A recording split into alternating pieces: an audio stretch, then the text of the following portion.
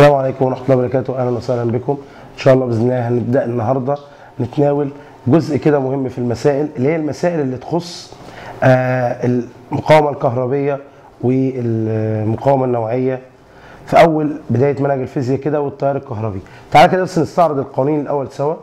بسم الله الرحمن الرحيم. هتلاقي كده أهم القوانين في الدرس الأولاني على هيئه مثلث كده. هتبص ال V اللي هو فرق الجهد بيساوي ال W على ال Q الشغل على كمية الشحنة. عندي الان بتساوي الكيو على الاي الاي بتساوي الكيو على التي وطبعا الاي بيساوي في في ار أهم قانون في الفيزياء ال V I في R اللي هو قانون أوم. برافو عليك. وعندي ال R اللي هي المقاومة الكهربية رو e في L على A خليك فاكر إن ال A ديت بتتفك باي r تربيع. طب كمان عندنا الرو e R في A على L مقاومه نوعيه R في A على L السيجما بتساوي L على R في A وفي بيقول لك إن الرو e واحد على سيجما يعني المقاومة النوعية بتساوي مقلوب التوصيلية الكهربية. والاربع مثلثات دول بتوع القدرة. القدرة الكهربية يعني إيه كلمة قدرة يا مستر؟ صلى على رسول الله. أنا ممكن أكلفك ب 100 مسألة وأكلف زميلك ب 100 مسألة. أنت تحل ال 100 مسألة في ساعة. هو يحل ال 100 مسألة في ثلاث ساعات. أنتوا الاثنين بذلتوا نفس الشغل. بس هو قدرته أعلى لأنه خد وقت أقل. أنت تقصد إن القدرة عبارة عن شغل أو طاقة على زمن. ولو فكينا الطاقة دي أو الشغل هوصل بقى بقوانين القدرة بي دبليو بتساوي اي تربيع في ار والبي دبليو بتساوي في في اي أو البي دبليو في تربيع على الار هنبدأ النهارده إن شاء الله نتناول بعض الأسئلة اللي بتيجي على الجزئية ديت. هنبدأ كده بسؤال اختر بيجي كتير جدا. سؤال اختيارات بيجي كتير قوي على الجزئية ديت. طلبة كتير بتتلخبط فيه. وموجود في كتاب النماذج وجه جه آخر مرة 2014 و2015 لما يجي يقول لك سلك من النحاس. زاد طوله إلى الضعف وقلت مساحته إلى النصف. فإن مقاومته الكهربية بص يا باشا هو بيسألك على إيه؟ على المقاومة الكهربية. المقاومة الكهربية اللي هي R. R دي بتساوي rho e في L على A؟ اكتب القانون. طب أعمل إيه؟ أوحد القانون قبل ما أجاوب. ماليش دعوة هو عايز إيه بس وحد القانون. يعني المفروض بيقول لي سلك من النحاس زاد طوله للضعف وقلت مساحته للنص فإن مقاومته. سيادتك هتحط مكان ال rho e واحد مكان L حط واحد مكان ال A حط واحد. واحد في واحد على واحد يبقى ال R بكام؟ واحد. برافو عليك. شوف بقى هو إيه اللي هيتغير. قال لي سلك من النحاس زاد طوله للضعف آه ال كان بواحد هيزيد الضعف يبقى باتنين. وقلت مساحته للنص الايه كانت بواحد هتبقى بنص. هو نوع اتغير يا باشا؟ ما اتغيرش زي ما هو. يبقى واحد في اتنين على نص هتلاقيها على الاله بتديك أربعة. إيه ده؟ هي المقاومة كانت بكام؟ كانت بواحد. بقت بكام؟ بأربعة. يبقى هختار على طول الاختيار اللي بيقول لي تزداد المقاومة أربع أمثال. أربع أمثال. أو تزيد أربع أضعاف. الله ده السؤال كده بقى سهل وجميل قوي طيب ما تيجي كده نشوف قانون المقاومة النوعية. ال rho e بتساوي R في على L أو يا مستر بالمرة sorry قانون المقاومة النوعية. المفروض ال rho e sorry. ال rho e يا شباب. rho e ال rho e بتساوي R في A؟ على L طب السيجما التوصيليه الكهربية هي مقلوب المقاومة النوعية يبقى السيجما بتساوي L على R في. أسأل طالب كده طيب كده وغلبان أقول له إيه؟ إيه العوامل التي تتوقف عليها المقاومة النوعية؟ إيه العوامل اللي تتوقف عليها التوصيلية الكهربية؟ طب إيه العوامل التي تتوقف عليها المقاومة الكهربية؟ تعال نبدأ بالمقاومة لسه اتكلمين عليها من شوية. المقاومة الكهربية في أربع عوامل خليك شاطر. طول السلك مساحة المقطع نوع المادة ودرجة الحرارة. أي عامل من دول هيتغير هيغير المقاومة. طيب تعال نشوف هنا. أقول إيه العوامل اللي توقف عليها المقاومة النوعية؟ طالب يقول لي مقاومة السلك ومساحة مقطعه وطوله الكلام ده غلط. خليك عارف إن المقاومة النوعية والتوصيلية الكهربية خاصية مميزة للمادة زيها زي الكثافة. يعني بتتغير بتغير نوع المادة مش بحجمها ولا بكتلتها ولا هي قد إيه ولا بطولها. طب دي لعب بيها قبل كده؟ لعب بيها كتير. على طول يجي يقول له إيه؟ سلك من النحاس زاد طوله للضعف.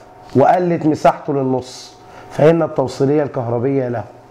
باشا لو بيسألك على التوصيلية الكهربية أو المقاومة النوعية خليك عارف ومتأكد إنهم مستحيل يتغيروا إلا في حالة واحدة بس لو اتغيرت درجة الحرارة أو اتغير نوع المادة. يبقى جت في 2015 في الاختيارات قال له سلك زاد طوله للضعف وقلت مساحته للنص فإن المقاومة النوعية له أو التوصيلية الكهربائيه له تظل ثابتة. تظل إيه؟ ثابتة. طب تمام. نبدأ بقى نشوف كده هو لو عايز يجيب لي مسائل على الجزئية ديت. آه بالمناسبة جاب لي كده اختيار قال له إيه؟ سلك بيمر فيه تيار 1 أمبير وكانت مقاومته 20 أوم. فإذا أصبحت شدة التيار 2 أمبير فإن مقاومة السلك ركز معايا كده هو هنا بيلعب معايا بقانون أوم. آه قانون أوم بيقول لي إن الفي فرق الجهد بيساوي I في R. آه يا مستر ما هي ال R كده بتساوي V على I جميل. آه ده ده ال R يا مستر كده بتتناسب عكسي مع التيار. موافقك لغاية دلوقتي. طب يا باشا ما هو كان بيقول لي إن التيار اللي بيمر 1 أمبير زادت شدة التيار فبقت 2 أمبير. يبقى لازم المقاومة لو ب 20 تقل تبقى ب 10 على أساس إن في علاقة عكسية. لا خد بالك بقى. هو فعلا ما بين التيار والمقاومة في علاقة عكسية. عند ثبوت الجهد. بس خد بالك المقاومة لو اتغيرت تغير التيار عادي. يعني المقاومة لو زادت التيار يقل. المقاومة قلت التيار يزيد. لكن لو حصل العكس ما يحصلش العكس. يعني لو التيار زاد للضعف إيه اللي يحصل للمقاومة؟ مستحيل تتغير. فخد بالك بيلعب بيها كتير جدا في الاختيارات. يقول لك سلك زاد سلك آه، سلك زاد طوله للضعف. وقلت مساحته قلنا إزاي هجيبها؟ أنا لما يقول لك سلك زاد شدة التيار المرة فيه للضعف فان مقاومته الكهربية تظل ثابتة. ليه تظل ثابتة؟ لأن في حاجة اسمها عوامل مؤثرة وعوامل غير مؤثرة. لو جه في الامتحان قال لك إيه العوامل اللي بتأثر على المقاومة الكهربية؟ أيوه يا باشا كده شاطر. طول السلك مساحة المقطع نوع المادة ودرجة الحرارة. التيار مش وسطيهم. فالتيار لو زاد أو قل مش هيأثر على المقاومة. طيب نتنقل بقى لجزء مهم تاني. مسائل. إيه المسائل اللي ممكن يجيبها لي على الحتة ديت؟ صلى على رسول الله عليه الصلاة والسلام. آه في عندنا كام نوع من المسائل كده هنستعرضه زي مثلا المسألة ديت في المذكرة بيقول لك سلك معدني. سلك معدني معزول طوله.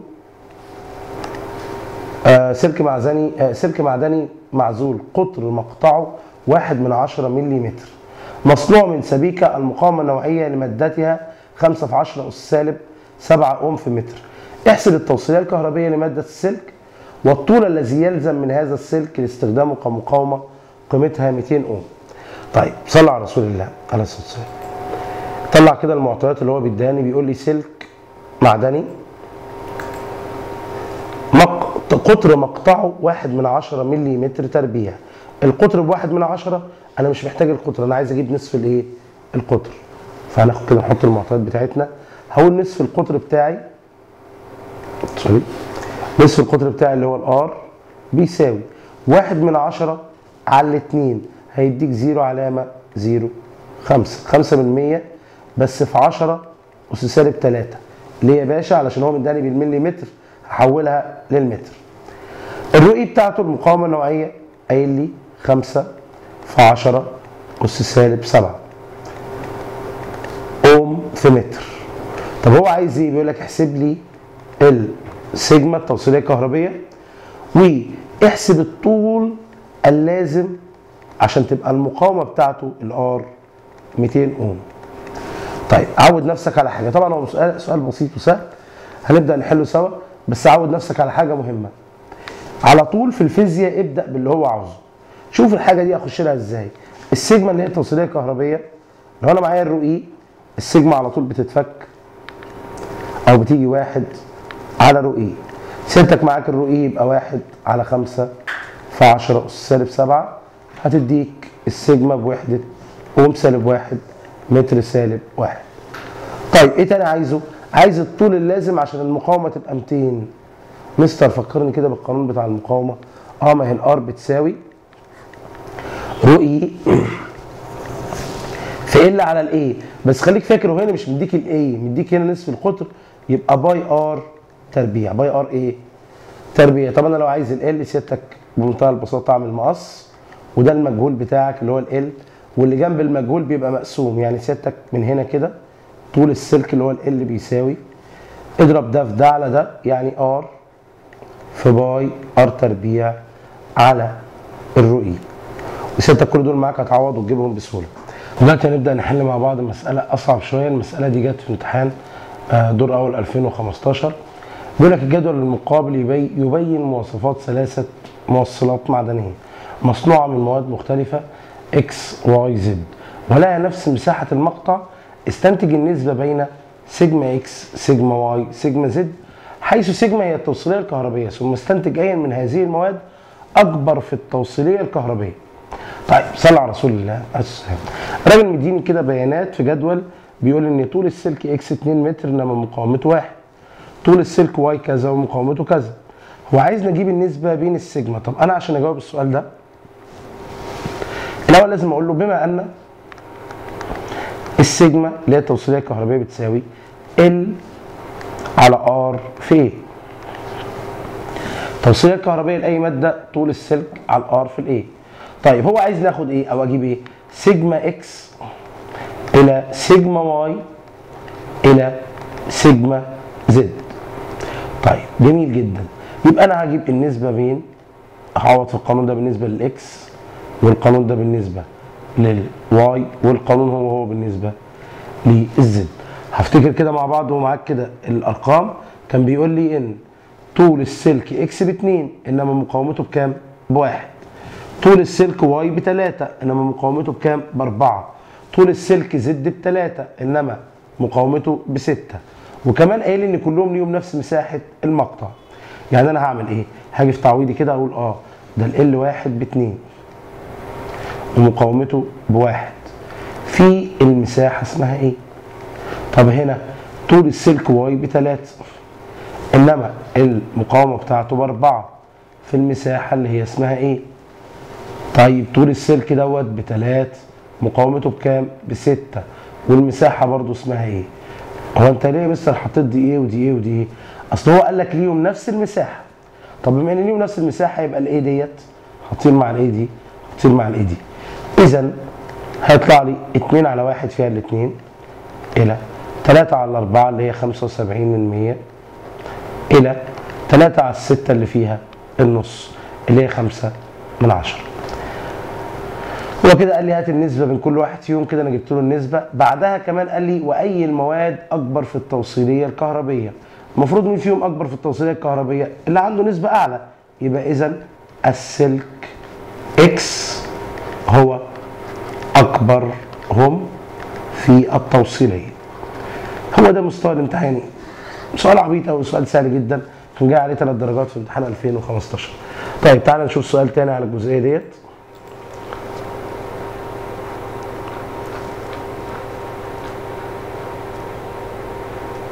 المسألة ديت موجودة كتير موجودة في امتحانات قبل كده بيقول لك تتصل محطة لتوليد الكهرباء بمصنع يبعد عنها بمسافة 2.5 كيلو متر بسلكين. فإذا كان الفرق في الجهد بين طرفي السلكين عند المحطة 240 فولت وبين الطرفين عند المصنع 220 فولت وكان المصنع يستخدم تيار شدته 80 أمبير. عفوا احسب مقاومة المتر الواحد من السلك ونصف قطر السلك. أنا بقول على طول للطالب المسألة دي بالذات يعني لو أنت عايز تحلها تخيل كده وارسمها. راجل بيقول لك إن أنت عندك مصنع وعندك محطة. المحطة بتولد الكهرباء للمصنع وبتبعده ليه والمصنع والمحطة لازم يكونوا يتصلوا بسلكين ليه؟ عشان تكون الدايرة مقفولة. بيقول لك المحطة شغالة على 240 فولت. المصنع شغال على 220 فولت. جميل.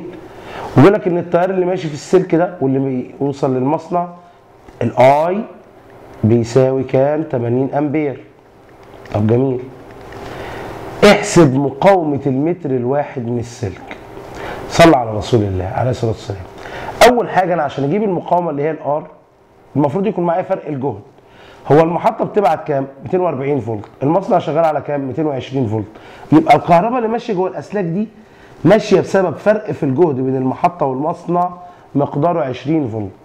فأنا أقول إذا V بتساوي 240 ناقص 220 يبقى ال V بيساوي 20 فولت. طب جميل قوي أنا جبت كده إيه؟ الفي ومعايا الاي اذا الار المقاومة بتساوي الفي على الاي أي فرق اي جهد على تيار يدي المقاومة بتاعته. 20 على ال 80 هيديك إن المقاومة بتساوي 25 من 100 أوم.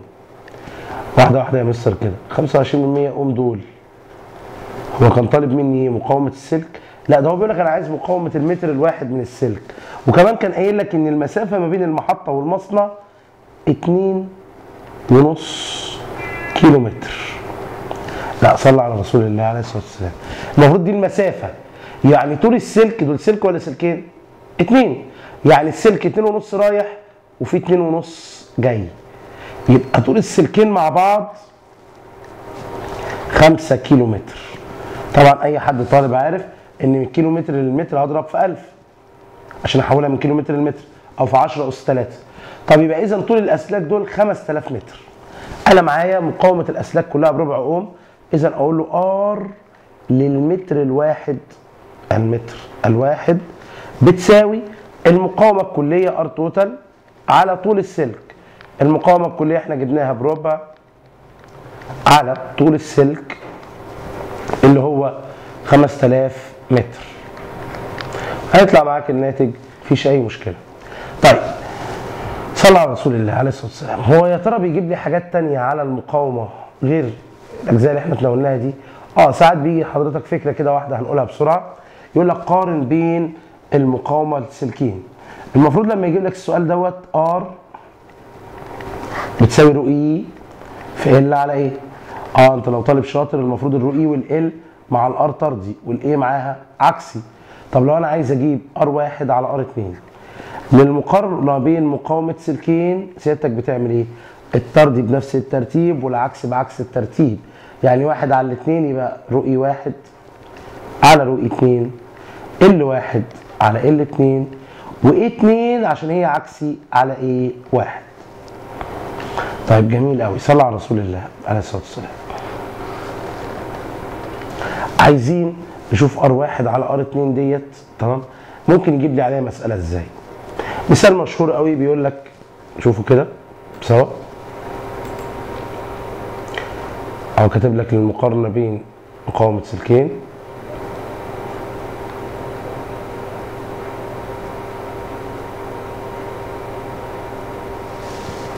بيقول لك إيه؟ صنع طالب مقاومة من سلك ذي طول معين وصنع مقاومة أخرى باستخدام سلك من نفس النوع وكان قطر السلك الثاني يساوي نصف قطر السلك الأول وطوله ضعف طول السلك الأول احسب النسبة بين مقاومة الثاني إلى مقاومة الأول. تطلع طلع المعطيات مظبوط المسألة هتتحل معاك. بيقول لك إيه؟ صنع طالب مقاومة من سلك ذي طول معين وصنع مقاومة أخرى باستخدام سلك من نفس النوع. نفس النوع دي لوحدها تترجم إن رؤي واحد. آه هنحل هنا على طول. حل بلون تاني عشان خاطر إيه؟ تبقى تفصل دي عن دي أول ما بيقول لك من نفس النوع يعني رؤي واحد بتساوي رؤي اتنين. جميل قوي. طب عمل إيه الطالب ده بقى؟ لما صنع من سلك تاني. بص وكان قطر السلك الثاني يساوي نصف قطر السلك الأول. قطر الثاني كله قد نص قطر الأول. يعني مين الأكبر؟ الثاني قطره كله قد نص قطر الأول. آه يعني معنى كده إن الأول أكبر من الثاني قطر الأول كله أكبر من قطر الثاني أو ممكن نقولها بطريقة أسهل نصف قطر الأول ضعف نصف قطر الثاني. الكلام ده نكتبه كده إزاي؟ بص كده نصف قطر الأول r واحد نصف قطر الثاني r 2 r small طيب المفروض مين أكبر؟ الأول قد الثاني مرتين. فلو الثاني بواحد يا باشا يبقى الأول بكام؟ باثنين بسط الأمور على نفسك. بدل ما تعمل r واحد بتساوي 2 r 2 وتطير. بسط الأمور على نفسك أكتر ما ت... على قد ما تقدر. طب تعالى كده نشوف بص. بيقول لك إيه؟ وطوله ضعف طول السلك الأول. طول السلك الثاني ضعف طول السلك الأول. احسب النسبة من مقاومة الثاني على الأول. طيب طول الثاني ضعف الأول ما هو الطول عندي يعني L فهقول L واحد و L اتنين. طوله ضعف طول السلك الأول يعني لو السلك التاني الأول بواحد يبقى الثاني هيبقى باتنين. احسب النسبة بين R 2 على R 1 صلوا على رسول الله عليه الصلاة والسلام. ركز كده معايا. هو أنا أساسا القانون اللي مديهولك كان R 1 على R 2 اعكس النسبة هيبقى R 2 على R 1 بتساوي. هنعكس نفس الكلام دوت. طبعا rho e 2 على rho e 1 أنا قلت لك الطردي بنفس الترتيب والعكس بعكس الترتيب. L 2 على L 1 برافو عليك. في واحد يقول لي خد بالك يا ده ده بالمساحة. إنما هو مداني هنا بنصف القطر عادي جدا. شيلها وحط مكانها r تربيع بس هتبقى r 1 تربيع على r 2 تربيع تعال نعوض كده بسرعة. المقاومة النوعية هي هي.